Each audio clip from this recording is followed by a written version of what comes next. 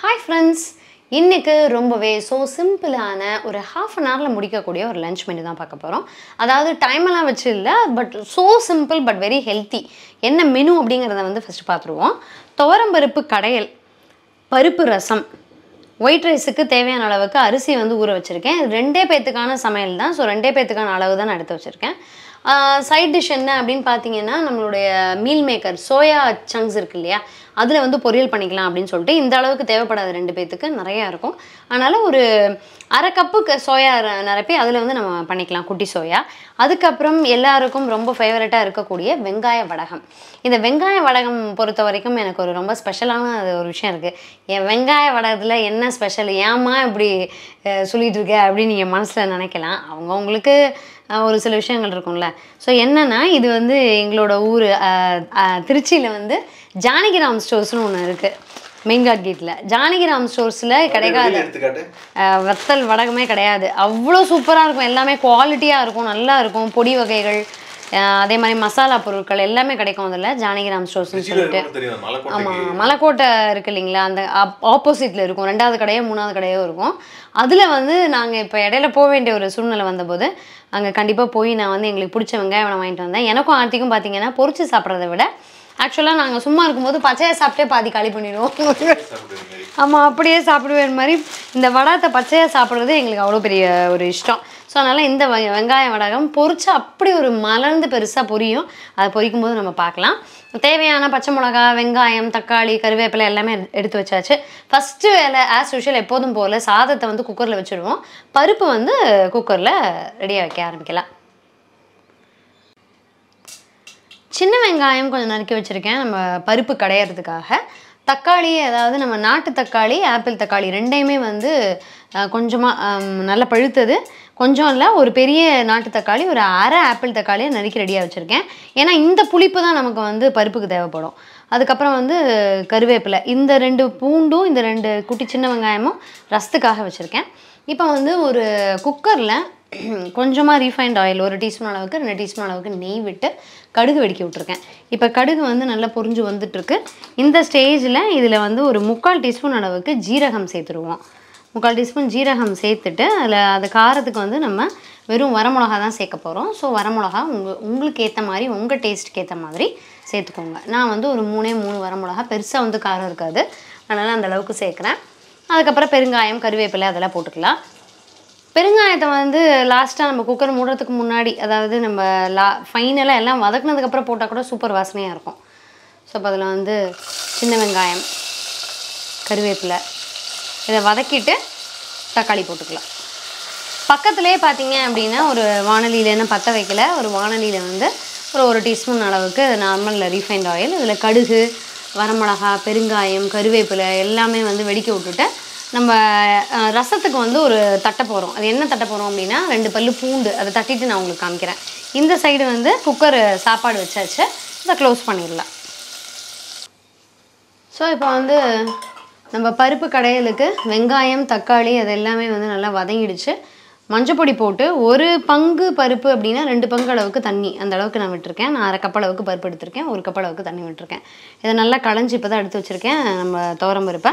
இப்போ இதை வந்து நம்ம தண்ணிக்குள்ளே போட்டு பருப்பை க்ளோஸ் பண்ணிடுவோம். சிம்மிலேயே வச்சு நல்லா ஒரு அஞ்சு நிமிஷம் அந்த சவுண்டு கணக்கெல்லாம் பார்க்க வேண்டாம். சிம்மில் வந்து நல்லா ஒரு ஒரே ஒரு சவுண்டு ஹை ஃப்ளேமில் வச்சு சவுண்டு வந்ததுக்கப்புறம் சிம்மில் வச்சு ஆஃப் பண்ணிடுவோம் ஃபைவ் மினிட்ஸ் கழிச்சு. ஸோ இதான் வந்து பருப்பு கடையலுக்கு. இப்போ இங்கே வந்து ரசத்துக்கு என்னென்னலாம் வச்சுருக்கேன் அப்படிங்கிறத பார்த்துருவோம். இங்கே பார்த்தீங்க அப்படின்னா ஒரு ரெண்டு பச்சை மிளகா ரெண்டு பல்லு பூண்டு ரெண்டு சின்ன வெங்காயம் ஒரு எண்ணெய் ஒரு பத்து பதினஞ்சு மிளகு ஒரு முக்கால் டீஸ்பூன் அளவுக்கு ஜீரகம். இது எல்லாத்தையுமே ஒரு தட்டு தட்டி எடுத்து வச்சுக்கலாம். ரசத்துக்கு நான் சொன்ன பொருள் எல்லாத்தையும் தட்டி நார்மலாக வச்சுருந்த அந்த ஆயிலில் கடுகு பெருங்காயம் கருவேப்பிலை வரமிளகா போட்டு வ- பொரிய விட்டுட்டு தட்டி வச்சுருந்த பொருளையும் போட்டு வதக்கிட்டு அந்த முக்கால் பழம் இருந்தது எனக்கு ஆப்பிள் தக்காளி. அதை நல்லா பொடி பொடியாக நறுக்கி போட்டிருக்கேன். ரசத்தை பொறுத்த வரைக்கும் நம்ம தக்காளி புளிப்பு வந்து கரெக்டாக இருந்ததுன்னா அப்படியே விட்டுடலாம் இல்லை அப்படின்னா புளி தண்ணி சேர்க்கணும். இது ஆப்பிள் தக்காளிங்கிறதுனால ஒரு லைட் சுவை ஸ்வீட் கொடுத்துட்டு சூப்பராக இருக்கும் ரசம். புளிப்பு பற்றாது நம்ம கம்பல்சரி வந்து புளி தண்ணி சேர்க்கணும். ஸோ அதனால் இது நல்லா வதங்கிடுச்சு. இது கூட ஒரு நல்ல ஒரு ஒரு ஒரு கப் அளவுக்கு தண்ணி விட்டு அப்படியே வேக விட்டுடலாம் ஃபைனலாக தேவையான போது நம்ம வந்து புளி தண்ணி விட்டுக்கலாம். தண்ணி விட்டதுக்கப்புறமா ரசப்பொடி சேர்த்துக்கலாம். இப்போ இங்கே பார்த்தீங்க அப்படின்னா நான் சொன்ன மாதிரி ஒரு அரைக்கப்பளவுக்கு அளவுக்கு அந்த சின்ன சோயா போட்டு வச்சுருக்கேன். இதை நம்ம தண்ணி விட்டு கொதிக்க வைக்க போகிறதில்ல இதில் வந்து கொதிக்கிற தண்ணியை கொஞ்சம் விட்டு அதுக்கப்புறம் ஒரு ஒரு மூணு நாலு நிமிஷத்தில் புழிஞ்சிட்டோம் அப்படின்னா ரொம்ப பதமாக வெந்திருக்கும். அடுப்பில் வச்சு வேக வச்சிட்டோம் அப்படின்னா நிறைய தண்ணி உறிஞ்சிக்கிட்டு கொஞ்சம் சொத சொதன்னு இருக்கும். இந்த மாதிரி செஞ்சோம் அப்படின்னா தேவையான அளவுக்கு பக்குவமாக வெந்துடும்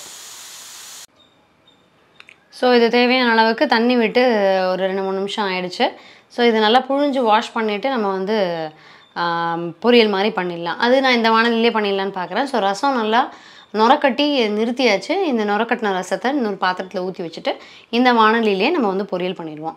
இதில் பார்த்தீங்க அப்படின்னா நமக்கு பருப்பு வந்து நான் சொன்ன மாதிரி ஹை ஹை ஃப்ளேமில் ஒரு விசில் விட்டு சிம்மில் வச்சு ஒரு அஞ்சு நிமிஷம் ஆச்சு.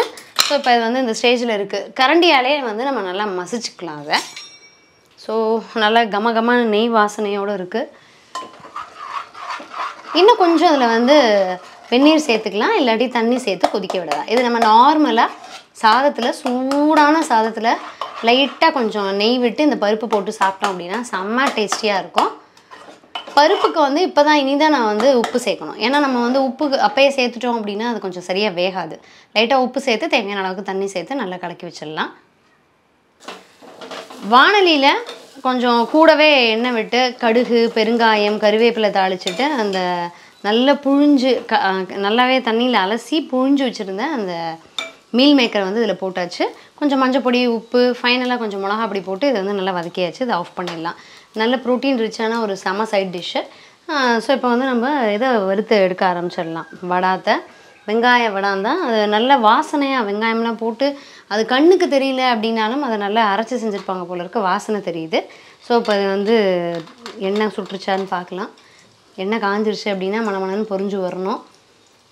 ஸோ நல்லா ரொம்ப நல்லாவே பெருசாக பொறிஞ்சு வருது. அந்த சைஸ் வந்து நல்ல பெருசாக இருக்குது ஸோ பார்த்தீங்கன்னா உங்களுக்கே தெரியும். நான் சின்ன சைஸ் தான் போட்டேன். நல்லா மலர்ந்து வருது. ஸோ அதை ஃபைனலாக எல்லாத்தையும் பொறிச்சு ரெடியாக எடுத்து வச்சுருவோம். சமையலோட ஃபைனல் ஸ்டேஜுக்கு வந்தாச்சு. மேக்ஸிமம் அது அரை மணி நேரமே ஜாஸ்தி இருக்குது என்னென்னா நீங்கள் ஊர்லேருந்து வந்து கூட வெளியில் சாப்பிட்றதுக்கு தோதா இல்லை அந்த டைம் அப்படின்னா நீங்கள் வீட்டுக்கு வந்து ஒரு இருபது இருபத்தஞ்சி நிமிஷத்துக்குள்ளே அந்த சமையலை முடிச்சிட்டிங்க. நல்லா வீட்டிலே சூப்பராக சாப்பாடு சாப்பிட்டுக்கலாம். ஸோ ஃப்ரெண்ட்ஸ் வெங்காய வடாம் நல்லா பெருசாக சூப்பராக புரிஞ்சிருந்தது. பொறிச்சு எடுத்தாச்சு. ஒரு அரை மணி நேரத்தில் செம்ம டேஸ்டியான நல்ல ஹெல்த்தியாக இருக்கக்கூடிய லஞ்ச் வந்து ரெடி ஆகிடுச்சு ஒயிட் ரைஸ் துவரம்பருப்பு கடையல் நல்ல கம கமன்னு ரசம். பெஸ்ட்டு காம்பினேஷனாக இருக்கக்கூடிய வெங்காய வடம். சோயா சங்ஸா மீல் மேக்கர் பொரியல்.